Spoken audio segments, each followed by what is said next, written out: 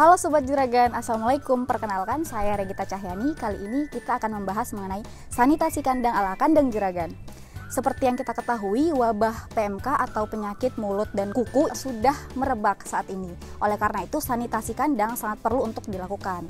Di kandang juragan sendiri, sebelum adanya PMK ini, sanitasi kandang dilakukan setiap seminggu sekali Eh, namun saat ini karena adanya wabah PMK perlu kita cegah, makanya sanitasi kandang di kandang juragan sendiri itu dilakukan setiap hari.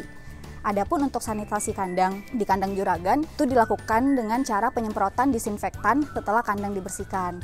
Untuk kebersihan kandang sendiri itu ada dua tahap. Yang pertama itu pembersihan uh, tempat makan dan minum hewan ternak. Pembersihan tempat makan dan minum mereka itu dilakukan setiap pagi sebelum mereka diberikan makanan. Dan yang kedua itu adalah pembersihan kotoran hewan ternak. Adapun untuk limbah kotoran hewan ternak ini kita tampung dalam satu kolam untuk kembali dijadikan sebagai pupuk kandang pakan ternak. Adapun pembersihan e, kotoran sapi di kandang juragan sendiri itu dilakukan sehari dua kali, yaitu pagi hari dan juga siang hari. Adapun manfaat dari sanitasi kandang adalah untuk mencegah hewan ternak terhindar dari berbagai virus. Contohnya PMK seperti itu.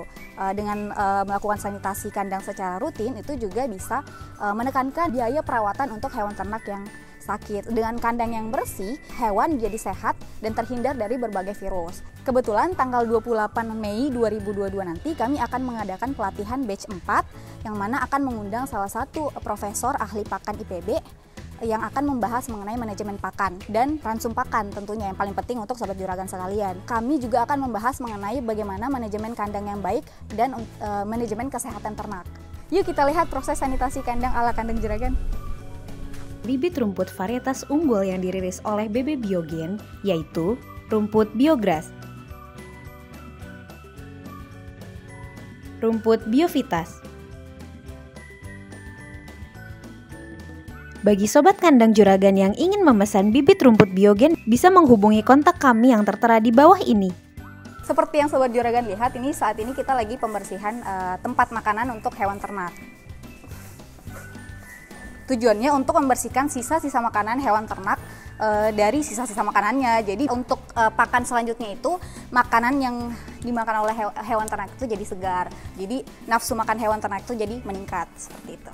Saat ini sedang dilakukan penyerokan kotoran sapi untuk e, gunanya untuk membersihkan e, kandang dari kotoran-kotoran sapi yang ada sebagaimana sobat juragan tahu bahwa kandang-kandang ini adalah tempat uh, keseharian sapi ya, tempat tidur, tempat makan. Jadi otomatis harus dibersihkan. Uh, setelah melakukan uh, pembersihan kotoran sapi, selanjutnya dilakukan uh, penyemprotan untuk uh, membersihkan sisa-sisa kotoran sapi yang ada di lantai. Ada baiknya untuk permukaan kandang ini dimiringkan agar supaya untuk aliran airnya itu langsung menuju ke saluran pembuangan tahap terakhir yaitu proses uh, penyemprotan disinfektan gunanya untuk uh, menghilangkan virus-virus yang berbahaya untuk hewan ternak.